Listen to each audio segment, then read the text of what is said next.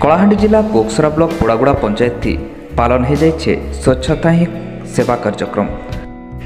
એ કાર્યક્રમથી પોળાગુડા sarpanch Jairam Nag PO Damodar Bemal CRP MBK AWC worker আর school শিক্ষক সমিতি তার সঙ্গে স্কুল পিলামানে যোগ দিয়েছিলেন আর গাঁর লোকে এই কার্যক্রমকে প্রশংসা করেছিলেন।